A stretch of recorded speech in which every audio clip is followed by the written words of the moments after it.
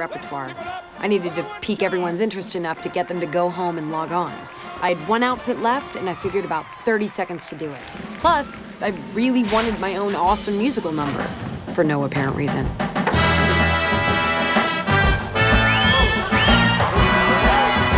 Is that Ollie? I don't wanna lose you, this good thing that I've got. 'Cause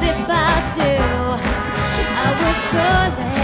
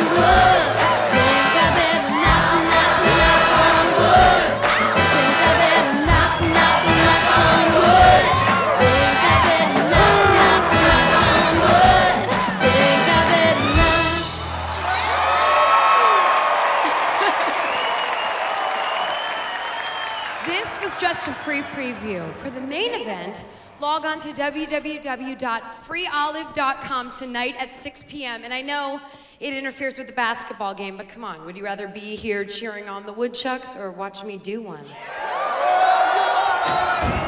What do you think you're doing, young lady? Get to my office right now. You know, I can't, I can't, because I have a date with the guy I like and the rest of the school, but I think that before you expel me, you might want to talk to Mrs. Griffith, because I think she might talk you into letting me stay. Go!